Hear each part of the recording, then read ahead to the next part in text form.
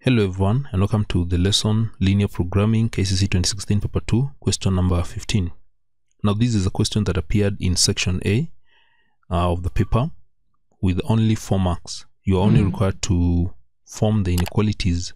You're not required to graph.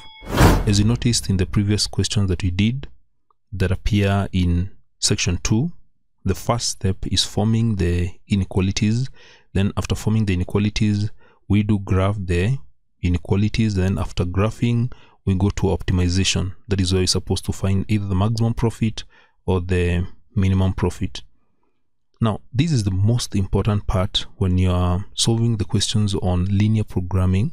The part that is supposed to be very careful is this part where you are given the statement and you're required to form the inequalities. So in this part you're supposed to read the statement word by word sentence by sentence as you're very careful to avoid making errors. Remember, if you make errors uh, during the formation of the inequalities, you end up graphing the wrong inequalities and then doing the wrong optimization. So that is something that is very important and very key when you are solving any question on linear programming. So in this question, it's just about forming, which is the most important thing. And then um, we are not required to graph. So I want us to go straight to the question and see how are we supposed to form the inequalities. Now, the question reads, a school decided to buy at least 32 bags of maize and beans. The number of uh, beans, uh, the number of maize was to be more than 20 and the number of bags of beans was to be at least 6.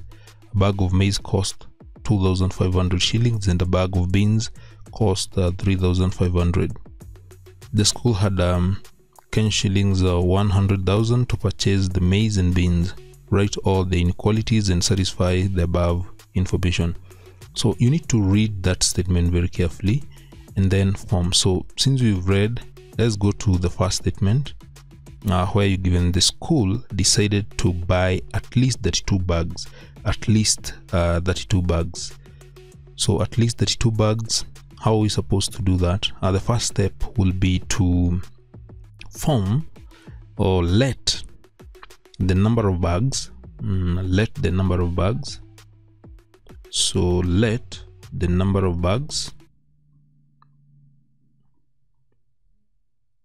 So let the number of bags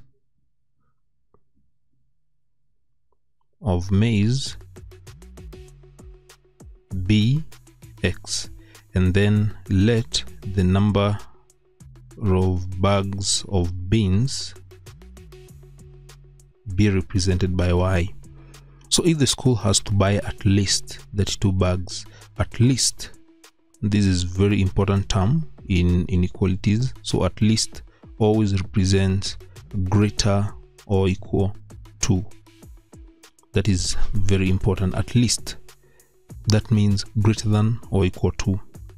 So therefore if the school had to buy at least the two bags of maize and beans, it means that if I take uh, x plus y, that sum should be greater than or equal to 32. That is how you form the first uh, inequality. A school decided to buy at least 32 bags of maize and beans. So when you get the sum, it should be either greater than or equal to 32. That is the first one. Now the number of maize were to be more than 20 again uh, from up that we can form inequalities. The bags of maize were to be more than 20 so more than 20 uh, is another important statement there.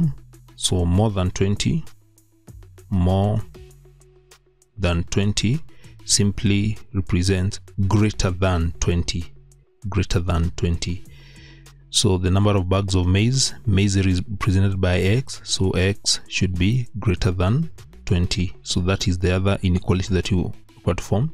And the number of bags of beans were to be at least six.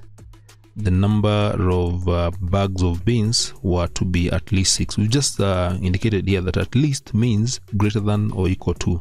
So when you say at least six the number of bags of beans which is represented by y should be at least um, 6 so greater than or equal to 6 that is the other inequality then from there uh, something very important here the other statement a bag of maize cost uh, 2500 and a bag of beans cost that 500 the school had up to that point we not uh, need to form an inequality for that. We be guided we need to continue to the next statement. So the school had um, a total of uh, 100,000 to purchase the maize and beans. Right all the inequalities okay. The school had a total of 100,000 shillings to purchase maize and beans. And you're given that the cost of um, a bag of maize is 2500 and the cost of uh, cost of a bag of beans is 3500 so we're going to combine these two statements and come up with one inequality so if a bag of uh, maize costs uh, 2500 then x number of bags of maize will cost uh, 2500 x. That is the maize cost of maize then for beans if a bag of beans costs that 500 then uh, y number of beans will be that 500 that 500 y. And this one we are told that um, the school had a hundred thousand shillings a hundred thousand shillings to purchase these.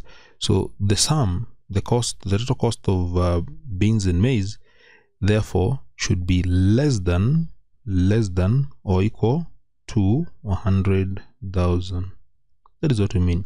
The school had only a total of 100,000 so it cannot spend more than 100,000 so therefore the cost has either to be less than or equal to 100,000 should be should not be more than that.